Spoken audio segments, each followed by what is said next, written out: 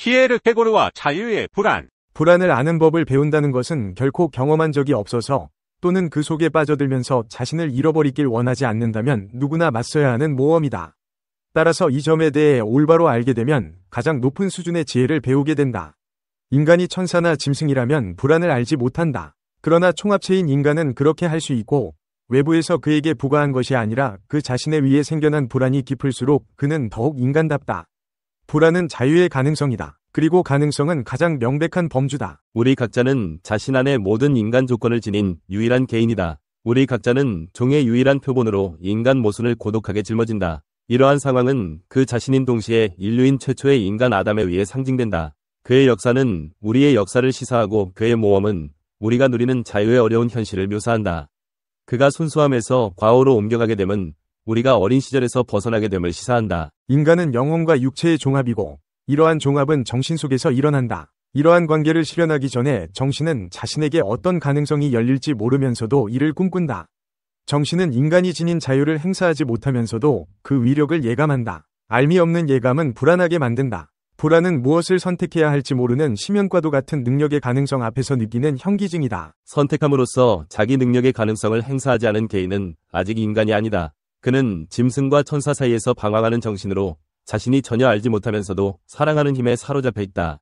동시에 그는 전혀 이해하지 못하면서도 사랑하는 이 고통스러운 힘을 피하려고 한다. 그때 설명할 수 없는 질적인 도약이 일어난다. 능력의 가능성에서 선택으로 옮겨간다. 인간은 복종하지 않는 편을 택하고 이렇게 해서 순수함에서 벗어나 자유롭게 행동하게 된다. 이러한 행위를 통해 정신은 꿈에서 벗어나 합당하게 선택하는 능력인 자유가 되고자 한다. 꿈에서 벗어난 정신은 이제 자신이 행사한 자유에 이어지는 새로운 불안 속으로 들어간다. 개인은 신이 금지한 것을 위반하고 잘못을 저지르면서 자유의 능력을 행사했기 때문이다. 그리고 죄의식을 경험함으로써 자유의 능력 속에 포함된 모호함이 드러나기 때문이다. 자유롭다는 말은 매번 과오를 저지를 위험을 감수하면서 돌이킬 수 없는 것 속으로 들어간다는 뜻이다. 과감하게 실행하고 위험을 감수해야 할지도 모른다는 불안과 실패할지도 모른다는 불안이 우리의 자유를 압박한다. 그러나 자유는 우리 인간다움의 전유물이기에 우리는 고뇌를 우리 자신의 버팀대로 삼아야 한다. 17자유로움에서 비롯되는 어려움을 감당하라. 원죄를 믿든 그렇지 않든 그 이야기 속에 포함된 가르침에 귀 기울여라. 선택하기 전에는 모든 것이 가능하고 가능성의 심연을 바라보면 현기증이 난다. 선택은 착각하거나 잘못할지도 모른다는 우려를 감수하는 일이고 이렇게 우려하면 구토가 날 지경이다. 선택한 후에야 자신이 착각했는지 아닌지 발견하게 된다. 선택한 후에도 여전히 위혹에 빠져 있을 수도 있고 자신이 올바른 선택을 했는지 모를 수도 있다. 불안을 피하기 위해 선택하고 싶지 않은 마음이 들 수도 있다. 그러나 선택하지 않는 편을 택한다면 동시에 두 가지 현기증이 일어나게 만드는 셈이다. 착각했을지도 모른다는 근심에 선택하지 않은 모든 가능성이 떠도는 현기증을 더하는 것이다. 그대는 선택하지 않으므로 미지의 결과를 초래하는 선택을 한 셈이 되어 낭떠러지 위에서 꼼짝하지 못한다. 하여튼 어쩔 도리가 없는데 그대는 자유롭게 선택하도록 창조되었기 때문이다. 키에르 케고르는 다음과 같이 자유의 불안을 우리에게 상기시킨다. 불안이 없는 가능성을 원하는가? 그러나 불안이야말로 그대에게 가능성의 영역을 드러내주는 것이다. 위험이 없는 자유를 원하는가? 그러나 모든 것을 미리 안다면 자유는 도대체 어디에 존재하겠는가? 과오를 저질러 마음이 괴로운가? 그대가 느끼는 양심이 가책을 뉘우침으로 변화시켜라. 그 차이를 알지 못하는가? 양심의 가책은 그대를 과거에 못 박지만 뉘우침은 그대로 하여금 다시 출발하게 해준다. 혼란이 전혀 없는 가운데 자유롭기를 꿈꾸는가? 그러나 그대는 기쁨 없이 마비되어 버릴 것이다. 불확실한 결과를 낳는 자유에서 비롯되는 압박감의 심연에서 나는 듣는다. 너의 지혜는 외부 압력에서가 아니라 너 자신에게서 비롯되는 불안을 감당하는 데도 있다. 불안과 걱정, 사회적 지위와 세인의 사랑에 대한 갈망.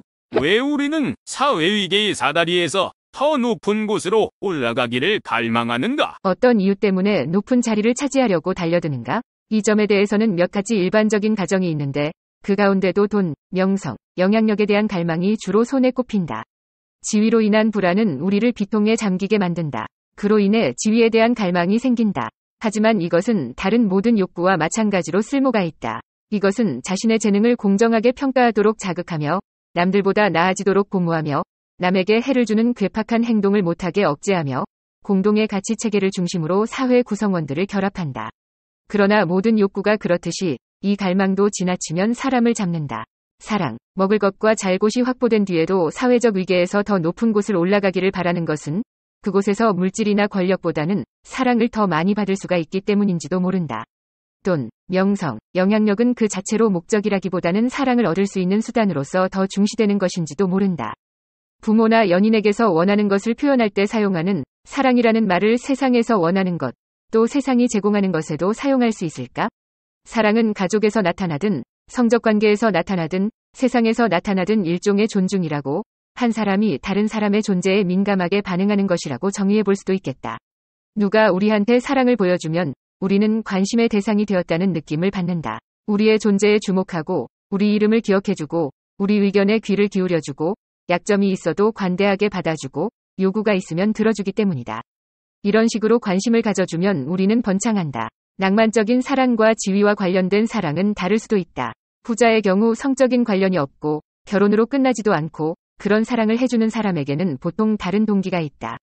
그러나 지위와 관련된 사랑을 받는 사람 역시 낭만적인 사랑을 받는 사람과 마찬가지로 다른 사람의 호의적인 눈길을 받으며 편안함을 느낀다는 점에서는 차이가 없다. 흔히 사회에서 중요한 지위에 있는 사람을 이름 있는 사람이라고 부르고 그 반대의 경우를 이름 없는 사람이라고 부른다. 이것이 말도 안 되는 이유는 우리 모두가 정체성을 가진 누구 못지않은 존재 권리를 가진 개인이기 때문이다. 그러나 그런 표현은 다양한 집단에 대한 대접의 질적 차이를 전달하는 데는 편리하다. 지위가 낮은 사람은 눈에 띄지도 않고 퉁명스러운 대꾸를 듣고 미묘한 개성은 짓밟히고 정체성은 무시당한다. 실패에서 굴욕감이 생긴다. 이것은 우리가 세상에 우리의 가치를 납득시키지 못했고 따라서 성공한 사람들을 씁쓸하게 바라보며 우리 자신을 부끄러워할 처지에 놓였다는 괴로운 인식에서 나온다. 낮은 지위가 끼치는 영향은 물질적인 맥락에서만 볼 수 없다. 적어도 생계는 유지할 수 있는 사람이라면 그로 인한 고통이 신체적 불편으로 그치는 경우는 거의 없다.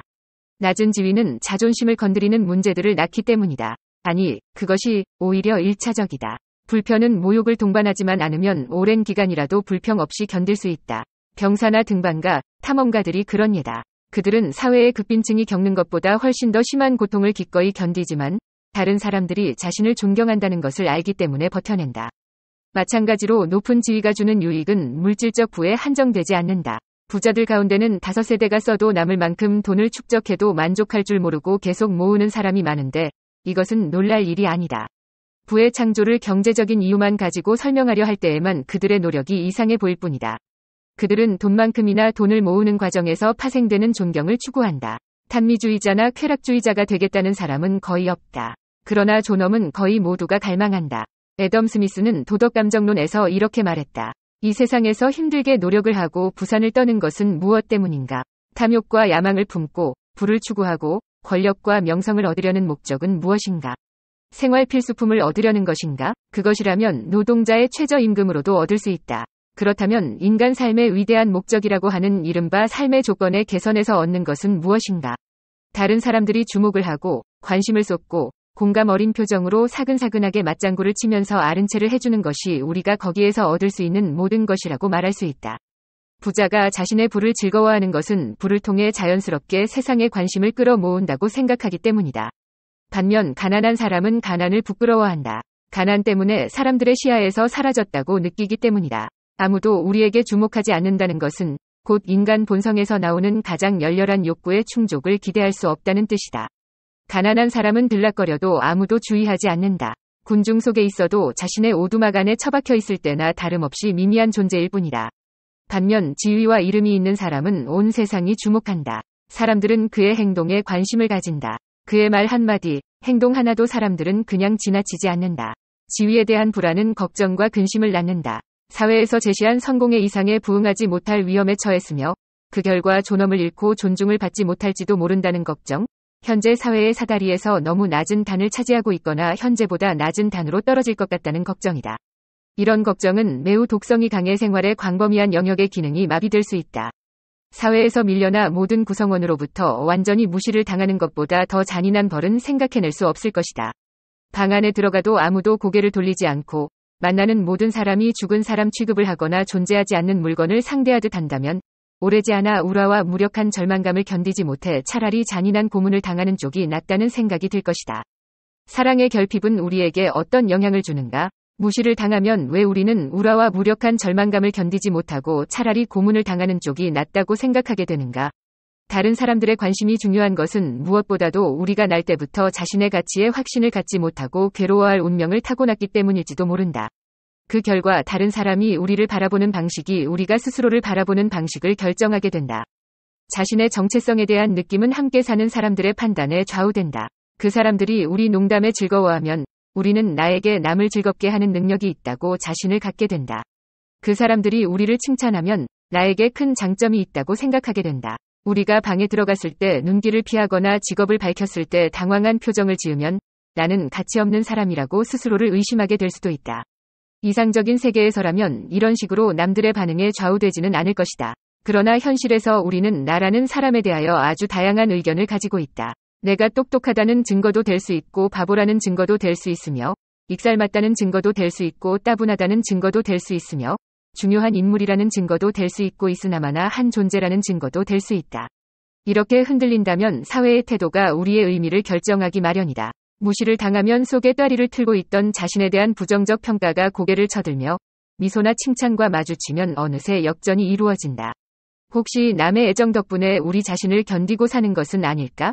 우리는 친구 한 명이 인사를 건성으로 하기만 해도 연락을 했는데 아무런 답이 없기만 해도 우리 기분은 시커멓게 멍들어 버린다.